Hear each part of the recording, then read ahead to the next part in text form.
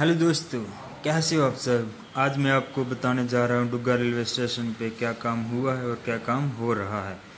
जो मैंने पहले वीडियो अपलोड की थी, उसमें थोड़ी साउंड की प्रॉब्लम हो चुकी थी। अगर आज भी साउंड की प्रॉब्लम हुई तो उसके लिए, के लिए मैं माफ़ी चाहूँगा, बट आपको आज थोड़ी बहुत मैं जानकारी दूँगा क्या काम हो रहा है, क्या काम हुआ है।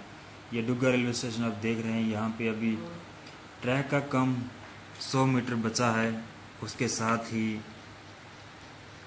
टी थर्टीन पी वन जो टनल है, यहाँ पे अभी लाइट का काम हो चुका है।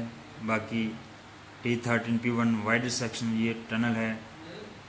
इसमें अभी ट्रैक का काम बचा है और आगे का काम जो रेगुलर है T thirteen P one regular section है, वहाँ पे काम चल रहा है। तो आपको मैं जानकारी दे दूँ, ये जो टनल टी थर्टीन है, इसमें अभी ट्रैक का काम चल रहा है और दो महीने के बाद ये tunnel almost hundred percent complete हो जाएगा। तो यहाँ पे लाइटिंग का काम ऑलमोस्ट हो चुका है, बस ये वाइड सेक्शन में ट्रैक का काम बचा है। तो इसके साथ ही ये जो डुग्गा रेलवे स्टेशन है, यहाँ पे अभी लाइट का काम बचा है और साथ में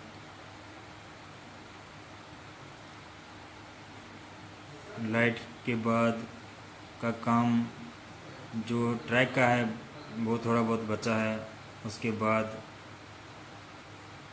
बाकी रिटर्निंग वॉल का काम चल रहा है। और साथ में आपको जो टनल दिख रहा है सामने, ये टी ट्वेल्व पी टू है, यहाँ पे ट्रैक का भी और लाइट का भी हंड्रेड परसेंट काम हो चुका है। तो अभी ये डुग्गा रेलवे स्टेशन है, यहाँ पे लाइट का काम होना है। तो साथ में ये टनल है जो टी थर्टी पी वन यहाँ से अभी ड्रेन का कम थोड़ा बहुत बचा है। ये, यहाँ पे कलवर्ट एक पाइप ढाली जाएगी, जो अंदर से पानी आएगा, उसको बाहर निकाला जाएगा। तो इसके बाद और एक या दो महीने में ये डुग्गा रेलवे स्टेशन भी कंप्लीट हो जाएगा। तो उसके बाद फिर अब 2024 में यहाँ पे कटरा टू डुग्गा तक तो ऑलमोस्ट 100 परसेंट ट्रेन चलेगी। और साथ में अब, अभी टी फोर्टीन जो टनल है, वहाँ पे लाइनिंग का काम चल रहा है, वो भी 2024 में कंप्लीट हो जाएगा। तो 2024 मान के चलिए आप लास्ट में आपको कटरा टू बनी हाल जो सेक्शन है वहाँ पे ट्रेन चलती हुई देखेगी। आप यहाँ पे विज़िट ज़रूर कीजिएगा जब ट्रेन चलेगी।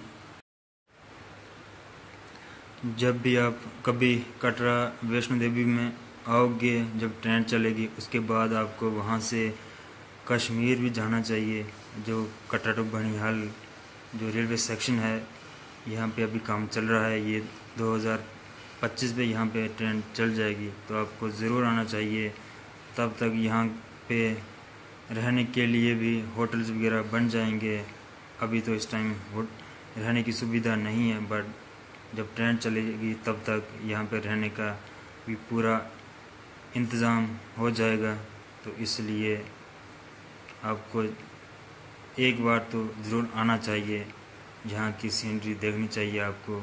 हर एक स्टेशन पे आपको थोड़ा टाइम ज़रूर गुजारना चाहिए तो आपको पता चलेगा पहाड़ों की कितनी खूबसूरती है।